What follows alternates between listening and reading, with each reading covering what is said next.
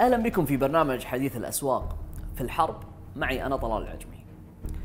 في هذه الحلقة سأتحدث عن تأثير العقوبات الاقتصادية على روسيا.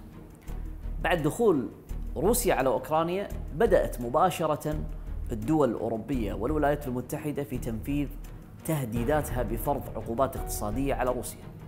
في محاولة منها للضغط على روسيا وإجبارها على الانسحاب من أوكرانيا. هل كانت روسيا مستعدة لهذه العقوبات الاقتصادية؟ تقارير كثيرة تحدثت عن حجم الآثار السلبية التي ستحدث بسبب تلك العقوبات الأوروبية على الاقتصاد الروسي. سمعنا أيضا تهديد بعض الدول بعزلة روسيا في المرحلة المقبلة. لكن بالمقابل إذا رأينا جانب آخر من هذه العقوبات سنجد بأن أثرها السلبي على العالم وأوروبا يعد متساوي. وربما تشارك أوروبا روسيا بهذه العزلة.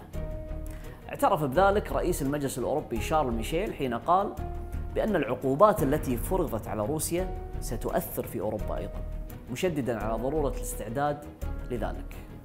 ما زالت أوروبا تعتمد على النفط والغاز الروسي، خصوصا أن ليس لديها بدائل حاضرة. ويمثل الغاز الروسي أكثر من 40% من واردات أوروبا من الغاز. وقد يؤدي إلى نفاذ الغاز بسبب عقوبات غربية أو ربما إجراءات مضادة روسية إلى زيادة أكبر بتعرفة الطاقة على ملايين الأسر.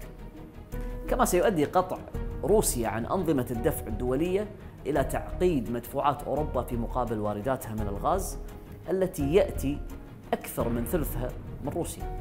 هنا يمكننا القول بأن معاقبة دول أوروبا لجارتها روسيا لن تكون سهلة، لأن القرب الجغرافي دائما ما يكون مصحوب بروابط اقتصادية وأمنية. ظهر بشكل واضح مع بداية الحرب ارتفاع أسعار الأغذية العالمية، بحسب تقرير نشرته منظمة الأغذية والزراعة للأمم المتحدة وصل إلى أعلى مستوى له على الإطلاق. تصدرت الزيوت النباتية ومنتوجات الألبان هذا الارتفاع. لابد الانتباه هنا بأن مخاوف ظروف المحاصيل وتوافر الكميات الجاهزة للتصدير لا تعتبر هي السبب الوحيد لهذه الارتفاعات لأن السبب الأكبر لتضخم الأسعار قادم من قطاعات أخرى خارج الإنتاج الغذائي مثل الطاقة. هل روسيا جاهزة ومستعدة لهذه العقوبات؟ إذا رجعنا لعام 2014 نلاحظ بأن روسيا تمكنت من التكيف مع العقوبات التي فرضها الغرب عليها بعد سيطرتها على شبه جزيرة القرم. وأن اليوم لا يمكن نجاح الغرب بمحاصرة روسيا إلا بتوجيه ضربة إلى صادرات النفط والطاقة الروسية. الولايات المتحدة لا تستطيع القيام بذلك في ظل ظروف النقص العالمي في موارد الطاقة ومع ارتفاع الأسعار الناتج عن التضخم الغير مسبوق في العامين الأخيرين بسبب جائحة كورونا. أيضا أوروبا لا يمكنها التخلي عن الغاز الروسي بالرغم من خطابها وهجومها وكل تهديداتها. وفي نقطة أخيرة أن اندماج الاقتصاد الروسي في الاقتصاد العالمي لا يعد كبيرا مثل اقتصاد عدد من البلدان الأخرى وهذا ربما يضعف من فعالية العقوبات.